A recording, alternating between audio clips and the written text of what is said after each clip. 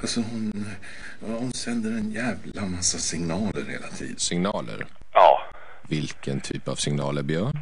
Ja, ja så erotiska signaler. Så, sign, ja, signaler. Det, det, det är liksom en erotisk spänning.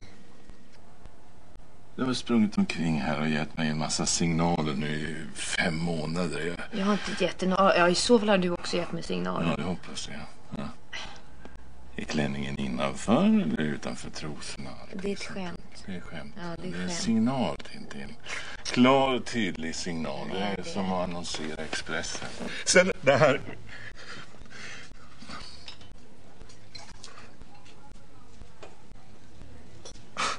Det här skitpratet om att du skulle ha gett mig signaler. Det är så jävla dumt. Jag menar...